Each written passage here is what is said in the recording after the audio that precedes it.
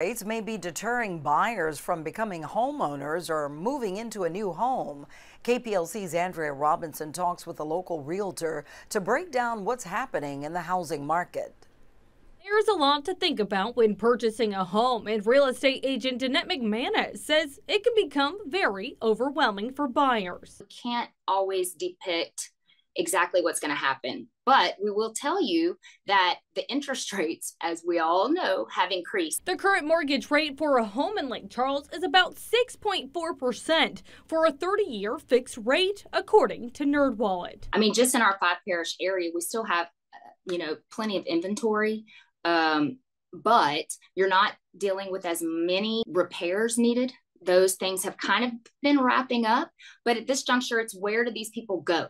That's you know we can go sell your house but where are you going to move so what's it going to take to go from for sale to sold well realtors say that interest rates aren't the only thing that's weighing on buyers we have increased the interest rates. Then you have the whole insurance crisis going on. McManus explains over 20 insurance companies have pulled out of the state. That uh, requires the owner to then go to a secondary policy, and usually it's citizens um, which is usually meant for last resort. And with the influx of people needing coverage, insurance rates are high. The price, the property taxes, the homeowner's insurance, the flood policy, all of those things make a big puzzle piece fit together. And if those aren't jiving, then we can have a lot of letdown buyers. She says, in terms of affordability, there are options you may be able to work through with your home lender, including grants and programs to bring down interest rates. As a buyer, do your due diligence, get with a real estate agent,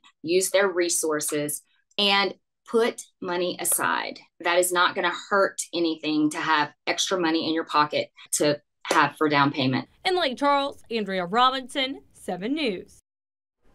McManus also warns about doing any research online as it may not be indicative to our area. She says it's best to reach out to experts who can guide you through the tricky process of buying a home. Well,